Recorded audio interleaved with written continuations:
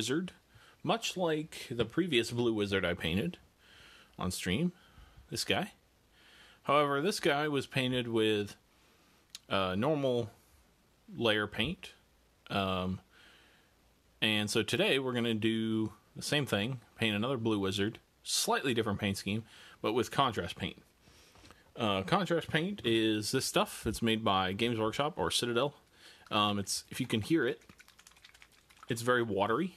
Um, I'll pop one open so you can see. It's uh, it's almost like liquid in there. Doesn't come across super well, but uh, let's see if I can find one. There we go. There's a half full one, as you can see in there. It's quite liquidy, basically like colored water, basically, as opposed to you know a normal paint, which is pretty solid.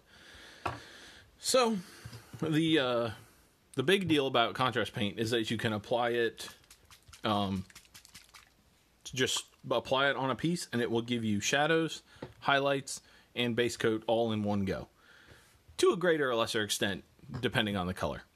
Uh, so I'm going to start off with Talassar Blue. Oh, uh, I should also say this miniature, uh, he was primed black, as you can see sort of under here. And then from about a 45 degree angle or so, uh, maybe a little, maybe 60 degrees in some places, I just sprayed, so sort of like at this angle, I sprayed white down on top of it. And that gives us some shadows already on the miniature, as you can see. And because the paint we're using today is all transparent, those shadows are going to remain and help the contrast paint do what it needs to do. wow, what a good looking robe. And I haven't even painted it yet. That's how good I am. All right, so like I said, I'm starting with Talassar Blue, and I'm just going to do all of the robes and his hat in this color. So as you can see, as I put it on,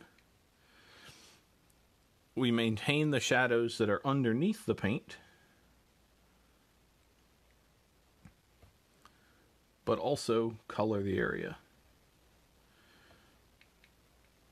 So basically this is going to be a a three-step process all done with a single brush or a single color rather. So it's very useful for it's useful for several things. Uh, it's useful if you're brand new to painting and don't really care about learning super advanced techniques or anything, just want your stuff painted, this will go, this will get you real quick. Also, um, for people who are more advanced already but just want to get stuff done, it's great for that. Um, and then it's also good, uh, even if you don't want to paint your entire miniature in it, it's nice to be able to incorporate some of them into your everyday painting, even if you aren't uh, even if you aren't new and even if you are using more advanced techniques, they can be quite useful tools in other situations also. But today, I'm just focusing on how you can use these as a new painter just to, to get some good results without really much skill at all. Um, basically, if you can if you can color between the lines, you can use this paint effectively. And most of us learned coloring between the lines at a young age. So if you can maintain that, you can use contrast paint.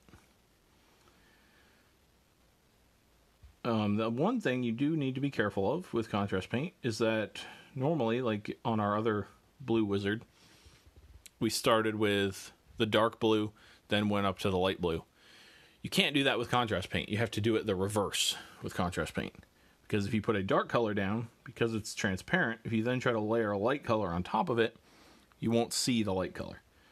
So in this case, we're starting with the lighter blue, and then afterward, we'll come back and put a darker blue down in a couple places.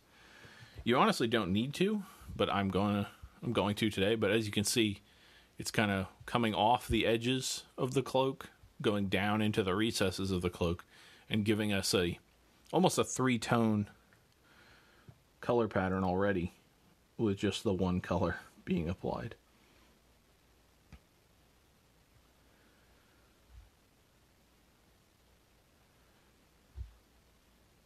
The um, needing to do the dark colors or the light colors first rather also means that you need to be a little more careful than with um, normal paint. Normal paint, if you make a mistake, you can just paint over it. Uh, contrast paint, you absolutely can just paint over. Uh, the difference will be you'd have to lay down uh, some sort of color first and then reapply your contrast paint. Because if, for instance, if I make a mistake and get blue on something I'm going to paint red, I can't just layer that red contrast paint over the blue because it'll come out purple. So I would have to lay down my white again and then go back and lay down my red contrast paint. But I think that the the couple limitations that do exist for the range are made up for and then some by the results you can get with the paint.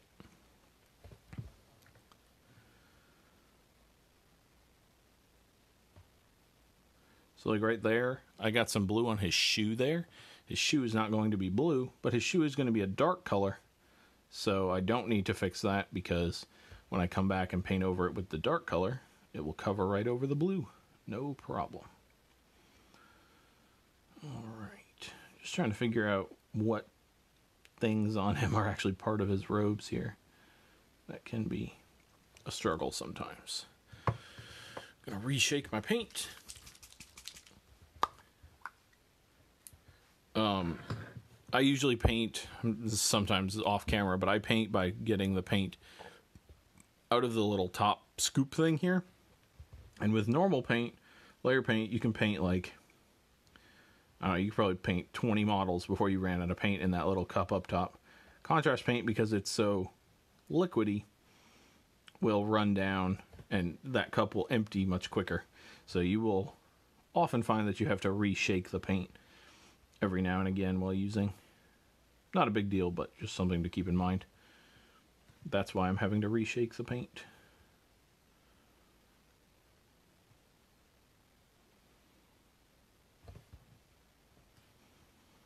Okay.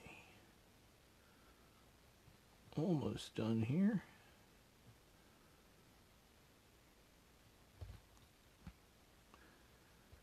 And as with most of these uh, beginner streams, I will I'll talk about a couple stopping places with the contrast paint where if you're if you're just looking to get models finished on the table, there are some stopping places that you don't need to go any farther necessarily.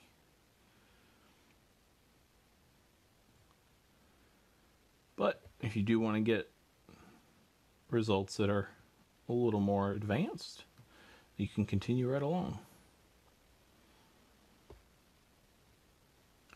And the great thing about contrast paint is that the the early stopping points give you a much better paint scheme or a much better paint result, I guess than the stopping places of normal paint. If you remember on the first, if you watch the first Blue Wizard, our first stopping point was just a base coat on everything, which is fine, absolutely nothing wrong with it. But our base coat on this is already, as you can see, got some shadow, some highlight, and some base coat. So it's already going to be much more involved. So now I'm going to do the hat in the same color.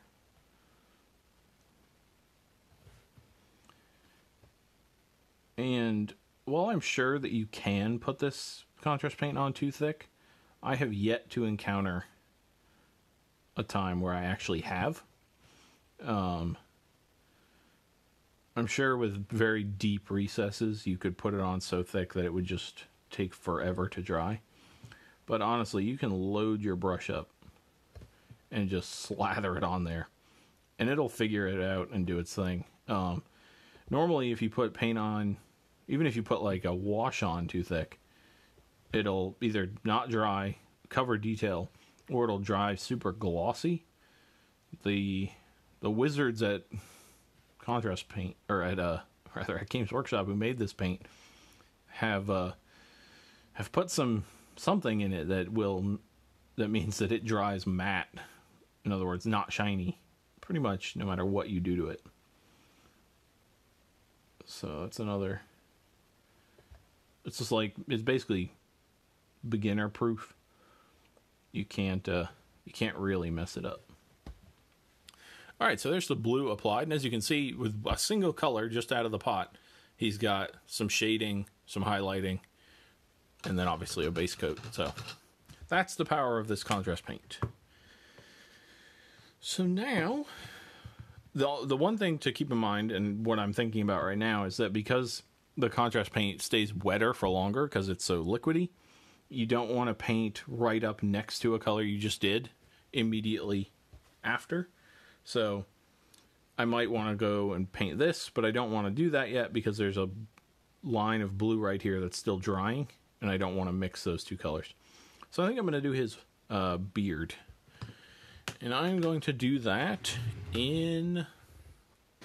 I think I'll do Apothecary White.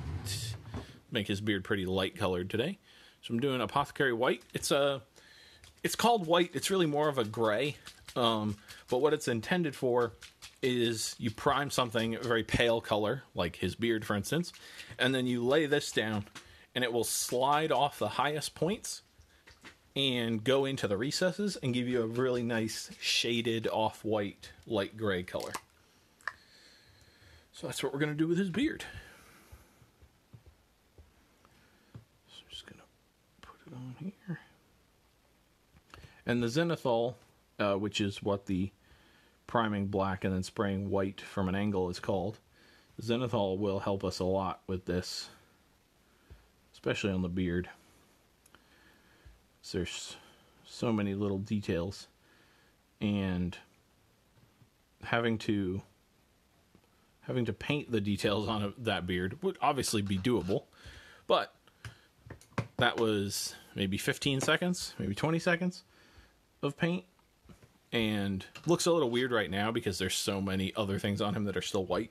But once we're all done, that was 15 seconds of a beard that will look just fine. So now I'm going to do the all the leather on him. He's got I'm going to paint this part in leather here. And he's got some pouches and stuff on the side of him, his belt, stuff like that. I'm going to do that all in appropriately snakebite leather. Just gonna give it a good shake. Uh, contrast paint, if you're gonna work with it, uh, it requires a little bit more shaking up front than other paint does. It likes to settle if you leave it for too long, so something to keep in mind. Most uh, most normal acrylic paint, you can shake it for really just give it a couple shakes and it'll be all good. But contrast paint, you gotta shake it a little bit more. So I'm being very careful not to mix with the blue here. But also to get good coverage of all the leather. Uh, the one thing that contrast paint does not have is a way to do metallic colors. Um, you will, if you want true metallic, you will have to go use normal metallic paint um, you can absolutely cover metallic paint with contrast paint to get a a color of metal, but there is no actual metallic contrast paint, unfortunately. I don't know if that would even technically be possible, but uh, it doesn't exist currently.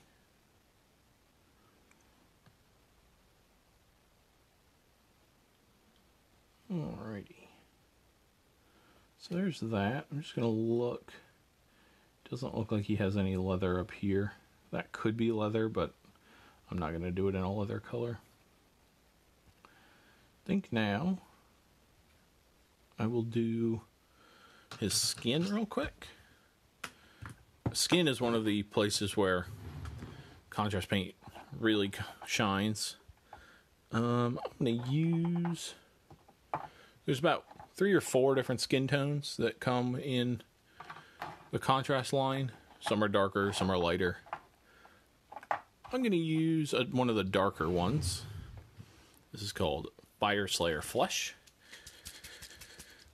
It's a, I'd say a medium dark skin tone. So I'm just going to put this on the hands and a little bit on the face.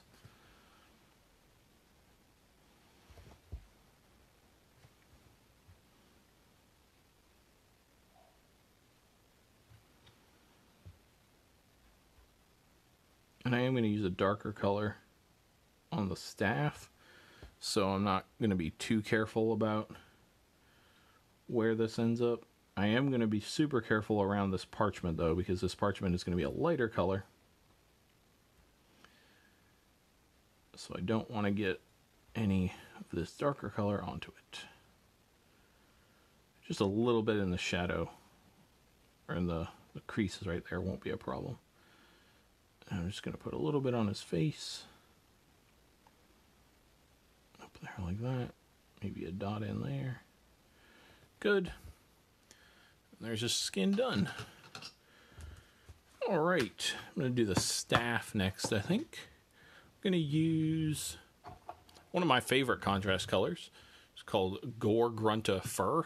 Uh, if, if, you think these names are a little strange, uh, that's a product of Games Workshop. They always name their colors after models or armies or some part of the of the game, and so uh, a Gore Grunta is a orc riding a giant wild boar.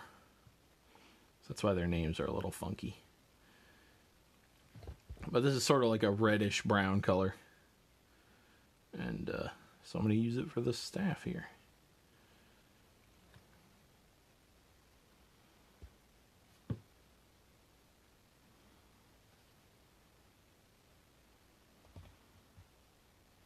Making sure not to get any on this ribbon or whatever this thing is here. Oh, and I see I've got some blue on that ribbon, so be a good opportunity to come back and show you how to fix that if that does happen.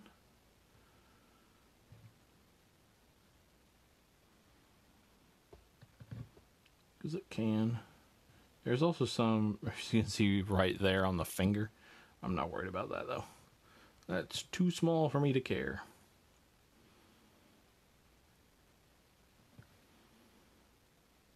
If this were a competition piece or something, sure. But this isn't, so it will be just fine. Well, I missed a little bit of the bag back here, and I'm just going to take the current color I'm working with and just put it on there. And it's not the same color as the leather, but it's darker and it's kind of hidden back there, so it'll just look like shadow. All right. I'm going to do the boots now real quick. I'm going to do them in Black Templar, just your basic black contrast paint. And this, like I said, this will cover, got some blue there on the boot. This will cover that right up, no problem.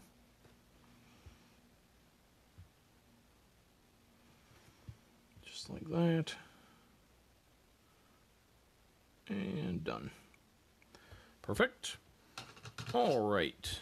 So, just have a couple colors left before the first stopping point if you wanted to. I'm going to do the parchment. I'm going to do that with Skeleton Horde.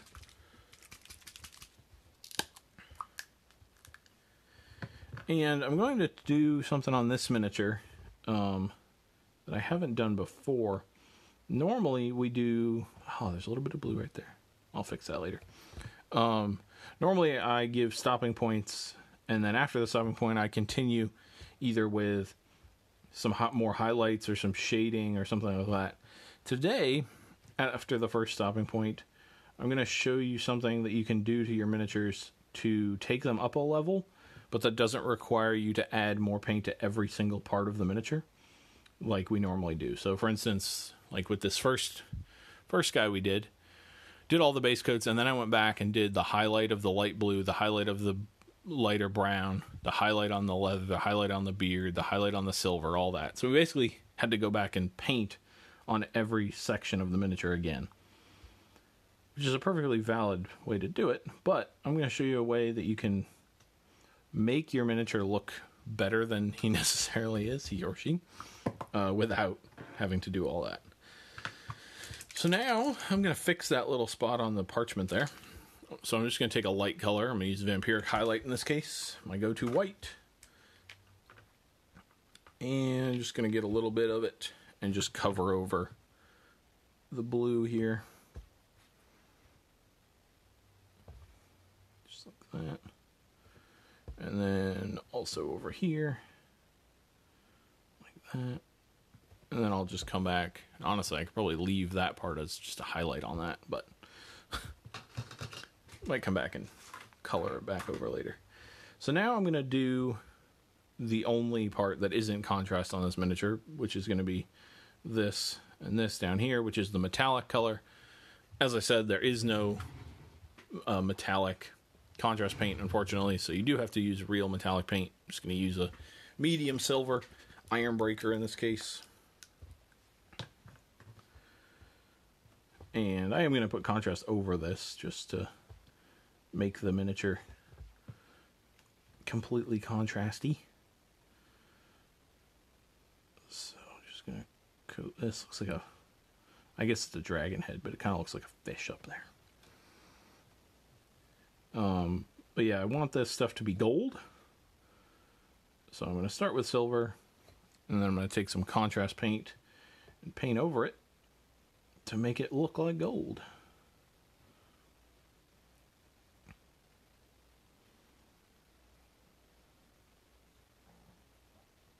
Okay. Looks about right. So we just have this little ribbon thing or something hanging out right there. Um, just for fun, just to put a bit of color on him, I'll use. Hmm. I'll use the color that I can't find. Interesting. Okay. Well. Aha! There it is. Is it common to mix a medium with contrast paint, or is it not recommended to use that method? I wouldn't say it's not recommended. Uh, I'm sure many people do. I personally don't because I'm, well, A, this series is called Straight from the Pot for a reason. Uh, 99% of my painting is done, as you see, straight from the pot without any mixing or thinning or something.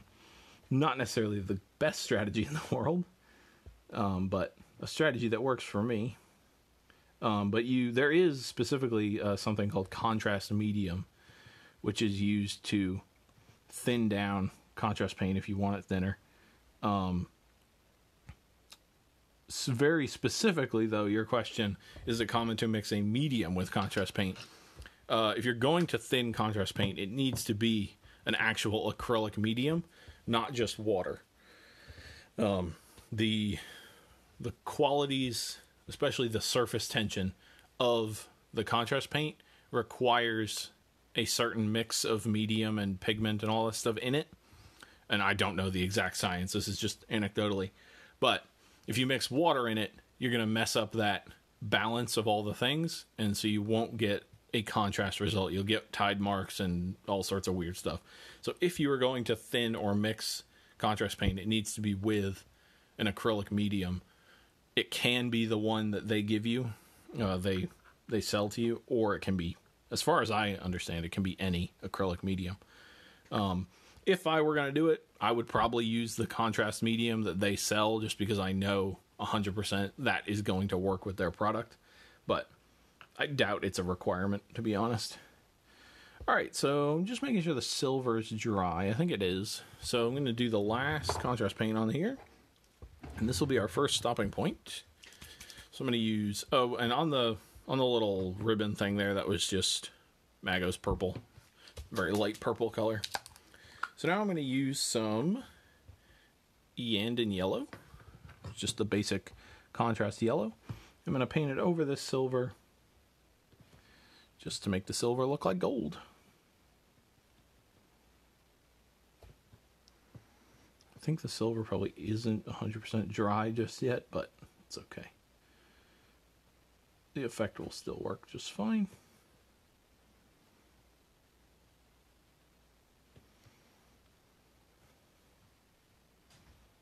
There we go. Almost. And boom. All right, so there's our there's our gold details on the staff with some silver paint plus a little bit of contrast paint. I think that works great. All right, so there's our first stopping point. this could be, besides the base, this could be a completely finished model. No problem. Put them on the table, call it a day. So, like I said, for this next step, um, I'm not going to go in and highlight and do all this stuff all over the model. I'm just going to do a one thing to bring up the fidelity of the uh, paint scheme. So I'm going to start with, I think, some Blood Angels Red, your medium red contrast paint, and then I'm going to use some Basilicum Gray afterward. And I'm looking at this big piece of parchment here, and I'm just going to do a super simple freehand on it. And because this freehand is going to be much more detailed than the rest of the model, uh, just adding this freehand will bring up the quality of the paint job, assuming I can actually achieve this, we're going to see, uh, just with this one thing. So I'm in my head, I'm imagining like the beginning of the cartoon Robin Hood movie. If you've seen that movie, starts off, they open a book, and in the book, there's a like oldie times looking book with a big letter in the front and then smaller writing. So I'm thinking about that sort of thing. Um, I am going to do, I'm just thinking of a letter that's easy to draw. And I think I'm going to start with an H. I was going to start with an A, but then I realized I don't want him to be considered an adulterer. We don't need any scarlet letters here, so I'm going to do an H. And because this paint is so thin, it makes drawing like this much easier. It's almost like calligraphy ink So I'm just going to draw in an H here.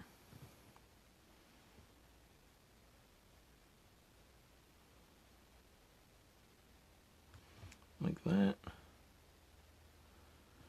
And then I'm going to give it a little give it a little filigree or something around it. That'll work. And then I'm going to take the Basilicum Gray that I mentioned a second ago. And I'm just going to run little tiny lines across the parchment like the text. I'm not going to write out each individual letter. That would be. Some people can absolutely do that. Me, not one of them. So there's a little bit too much moisture on my brush for this to work, so I'm just wiping it off and trying again.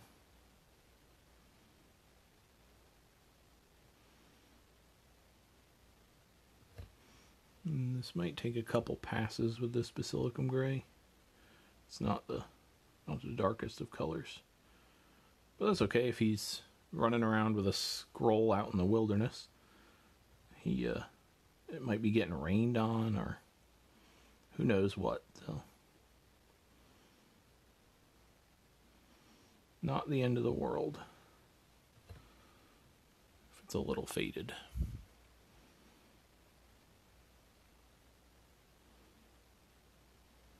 All right. So there you go, just like that. Simple draw a letter and put some white line or some some writing lines across the scroll. Just doing that has taken the fidelity of the paint job up a notch. So then that could be your finished model right there. But if we wanted to continue a little bit more, now what I'm going to do is find some areas of con- that are already covered in contrast paint, obviously, because everything is, and just see what I could change. So the most obvious thing on him would be this ring around his hat, the ring around the bottom of his cloak, and the rings on the cuffs of the cloak. So I'm just going to do that. I'm going to do, it's already blue, so I'm going to stick with blue. But I'm going to go to a darker blue. And for this, I think I will use ultramarine blue. It's a little covered there, but ultramarine blue, just a darker blue than the uh, than the Talassar blue we used at the beginning. This one has sat for a while, so I'm really going to give it a shake. And then I'm just going to go in and paint all these bits that I was talking about. So I'll start at the hat. I'm just going to paint this ring in this darker blue.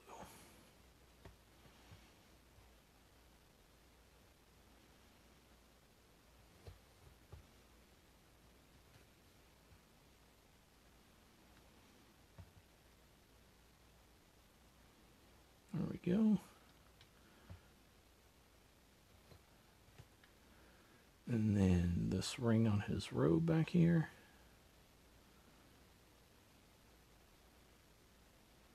And this step of basically adding more contrast paint on top of existing contrast paint can almost do this forever without any trouble because the contrast paint is so thin that it will almost never obscure your details. And then on his cuffs here, I'm just going to do it on the outside of the cuffs, not in here. In my head, um, the the fabric has not necessarily changed color. This is just a decorative piece sewn onto the cuffs. So the inside of the cuffs would be the same color as the rest of the robe.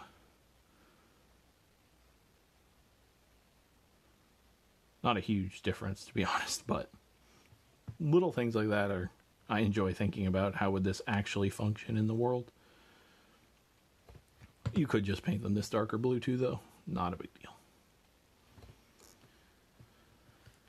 All right. Just do the back side of this. Make sure to get this up here. Easiest way to add a decorative touch. Yep, there you go.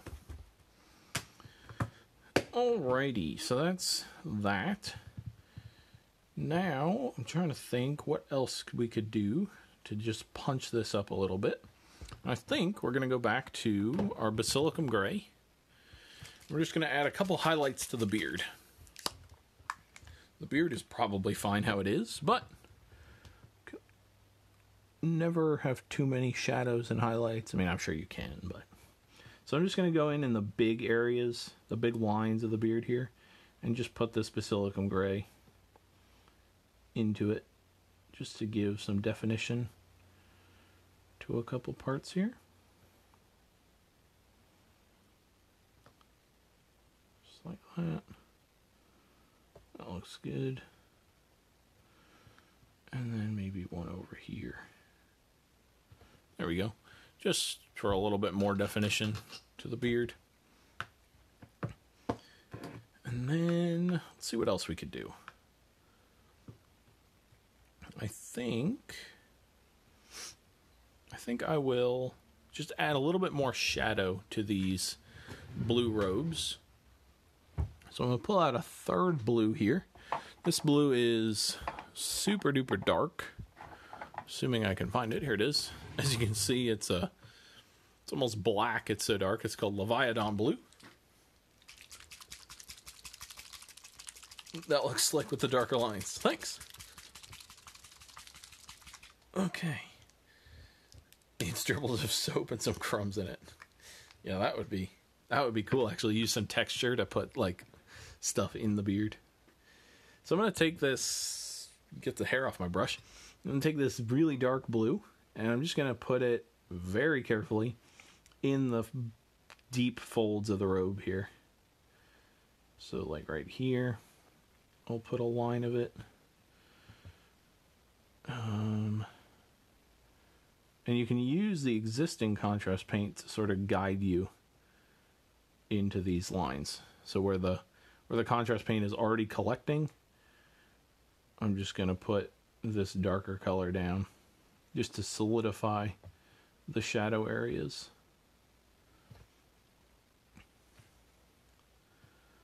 I'm going to leave that actually. I was going to put some in the sleeve, but I'm going to leave it how it is.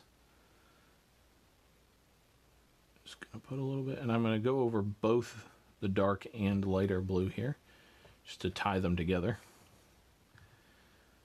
Do one back here.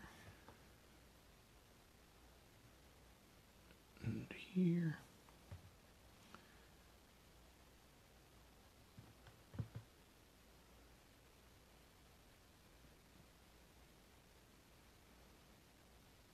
I'm going to do this shadow a little bit wider. As you can see, I came out on the, the robe a little bit more on this one because the the uh, the hood is here, so it would be providing a little bit more of a shadow onto the rest of the robe.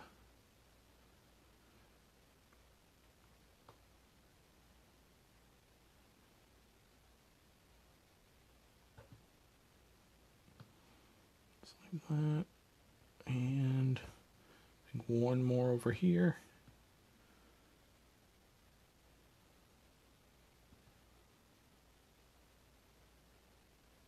And I think we'll be good there. So let's see what else could be done to this guy. Um, I think I'm gonna do the punch up the gold just a little bit. Gold looks a little flat to me right now, so I'm gonna take some. What color am I looking for? I don't even know what color I'm looking for. I'll know it when I see it. Here it is. take some Guilliman flesh, which is normally meant for a skin tone, but I'm going to get my brush that I cleaned from the previous color, obviously, dip it in some water. So it's nice and wet. Just wick the excess off.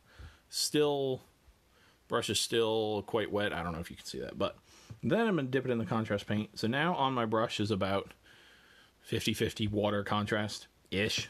I don't know. And then I'm just going to paint it onto this gold. And this is sort of a reddish color. And red always helps to sell the richness of gold. So I'm going to do the same thing, touch the brush in water, wick it off on the paper, and then just come back in. And this very specifically, uh, maybe 20 minutes ago, I said you should never mix contrast with water because it'll mess things up. In this instance, I'm not coating with the contrast paint. I'm just using it as a shade on this, and so mixing that with a little bit of water will not be a problem. That will uh, that'll sit on that gold and go into the recesses and be be a okay. So if you're doing this darkening with the contrast paints, what do you do if you make a dark spot that you don't want after it's dried and you can just wipe it? Well, why don't we why don't we see what happens instead of just explaining it? Let's just do it. So I'm just gonna take my my nice almost completed model here and take my Leviathan blue and I'm just gonna be like, oh no, I got a line on him. Son of a gun. That's terrible. And now it's drying. And I never noticed it. And it's dry. And now I can't wipe it off. Crap. What am I going to do? All right, so here's what we do. I'm going to take some of the original primer, which was I guess it was originally, I don't know, whatever. I'm going to take some white. Some vampiric highlight, my go to white. Put some out on a palette here.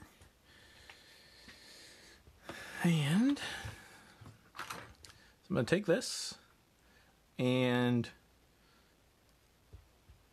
almost almost like a dry brush, but not quite. A little more I guess more like an overbrush. I've got paint on my brush and I'm just going to wipe it across this mistake here. Sort of blending it in, not really blending it in, but feathering it out like this. I'm just going to go up here and feather it out.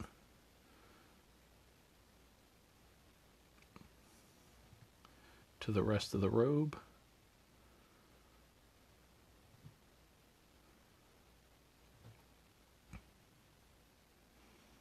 like that.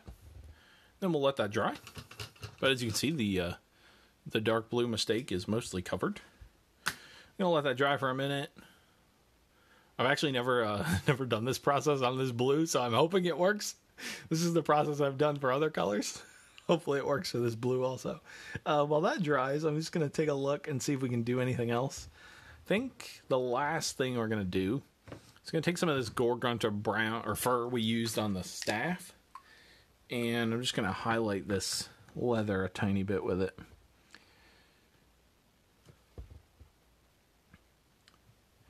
Just in the little recesses right here. Just put a little bit of a dark line. And over here.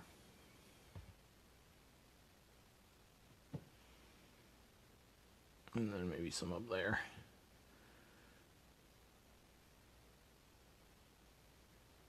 A little bit right here on the edge. All right. All right, so that white should be dry in the back now. Looks dry to me. So then we're going to come back with our original color, Talassar blue.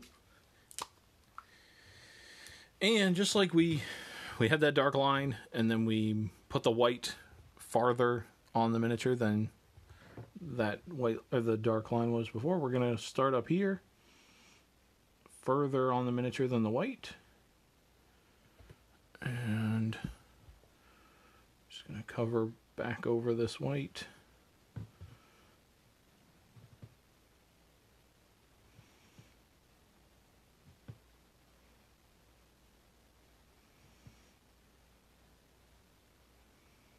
like that and maybe put some over here just to blend it in a little bit. And there you go. There's your once it dries it'll look better. And obviously if you zoom if you zoom way in you probably still can tell that there's something going on there something funky happened but if he's in an army or you know if you if you just don't tell anyone uh, people are not going to be able to pick that mistake out from the back of that cloak. So basically, the process that you want to do is take a, a light color like a white, feather it, put it across the mistake, and then feather it in both directions. And then take your original color and paint it back over, just making sure you go farther out than the white. Because if you just color the white, that will be an obvious spot. Hey, that's different. But if you go farther out on both the white and on the original color, it'll cover that back up and not show as much. Even right here, you can see something is different right there. So I'm actually just going to take a little bit of this and move it over here a little bit. There we go. You're welcome. Next time, next time there's a contrast mistake, you'll know what to do.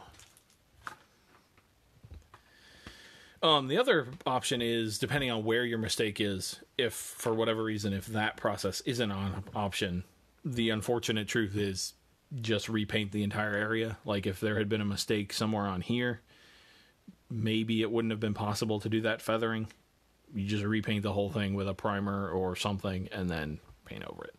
But that's the way to do it if you don't want to do that or you're too far gone to go all the way back or something like that. It's sorcery, yes. Maybe that's what I should have I should have called him the blue sorcerer instead of the blue wizard. Missed opportunity there. All right, so I'm just going to do the base real quick. Uh, nothing fancy. What's the other guy based in? The other guy has like a a medium brown and a dry brush. Oh well, this is this is contrast, so I'm not going to use the layer paint. I will use. Oh, there's the color I was looking for earlier. Fantastic. Now that I don't need it, I'm going to use the darkest brown, Cygor brown. I'm just going to coat his base in this and call it a day. Um, he's actually glued to another base, uh, so I'm not going to paint that because this is just that other base was just so he could be held by the uh, by the paint holder here.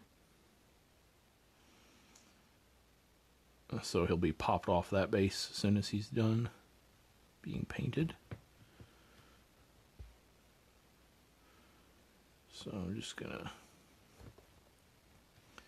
paint this whole base brown.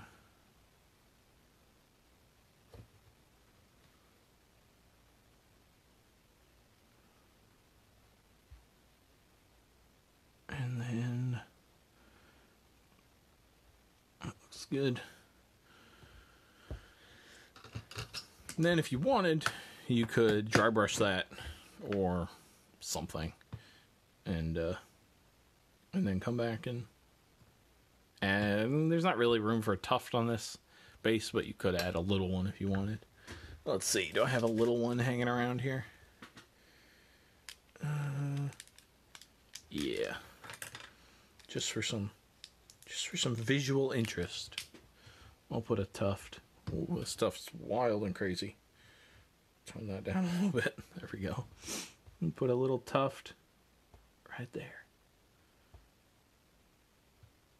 You know, Bob Ross would have loved tufts. I just have to say. It's your world. You put a happy little tuft wherever you want it. There you go. He's got a tuft on him. You should probably put one on the other side just to for symmetry, but no one will ever see the back. it'll just be from this angle. All right, so that'll do it for this episode. Uh, I will be back on this channel next week painting something D&D or beginner related not to necessarily equate beginners and D&D players just seems more appropriate since it's their one-off models uh, maybe I'll be painting a dragon who knows uh, otherwise I will be in the 40k channel again on Friday working on my game mat. And then back on Monday painting some Warhammer related miniature. Thank you everybody for watching and I will see you next time